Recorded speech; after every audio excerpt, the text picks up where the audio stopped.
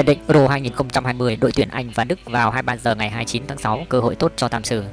Đội tuyển Anh gặp đội tuyển Đức tại sân Wembley vào đêm này trong cuộc đọ sức, hứa hẹn là một trong những trận đấu đáng chú ý của vòng chung kết Euro 2020.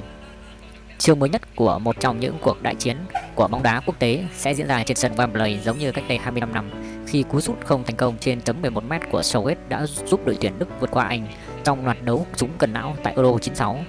Sự chặt chẽ có thể xảy ra một lần nữa khi Tam Sử chỉ ghi được hai bàn thắng ở vòng bảng trong lúc Manchak chỉ tạo ra được một màn trình diễn mãn nhãn trước Bồ Đào Nha.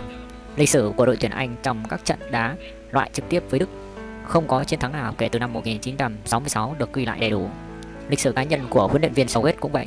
Với quả đá 11m đau lòng ở trận bán kết Euro 96, tuy nhiên, lịch sử này hầu như không có ý nghĩa gì đối với các cầu thủ trẻ của huấn luyện viên Southgate.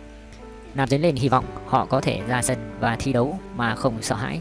Yếu tố phòng ngự chắc chắn và thành tích gần đây trên sân Wembley 13 thắng trên 15 trận khiến họ càng có lý do để tin tưởng.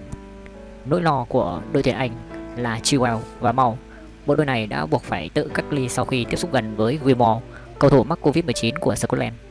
Huấn luyện viên Southgate nói, Đức có rất nhiều kinh nghiệm trong các trận đấu lớn nên họ là một đội bóng rất thành công.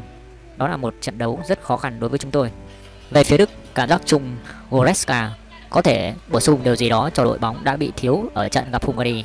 Hy vọng đội tuyển Đức sẽ có cách tiếp cận không thích rủi ro hơn so với các trận đấu ở vòng bảng của họ. Lưu ý đến tốc độ tăng tốc của anh, họ cũng đã tập đá 11m trong những ngày gần đây.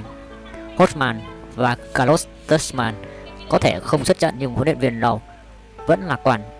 Tất cả hoặc không có gì kể từ đây. Đây sẽ là một trận đấu hoàn toàn khác với anh khi họ được chơi trên sân nhà và sẽ phải tấn công, sẽ cởi mở hơn so với trận gặp Hungary, nhưng chúng tôi phải nhập cuộc tốt. Đây hứa hẹn sẽ là một trận đấu chặt chẽ giữa hai trong số các đội mạnh nhất tại Euro 2020. Tuyển Anh có nhiều động lực hơn vào lúc này, nhưng câu hỏi về hệ thống của huấn luyện viên Southgate và quan điểm chiến thuật vẫn còn đó, đặc biệt là trước những đối thủ có trình độ cao.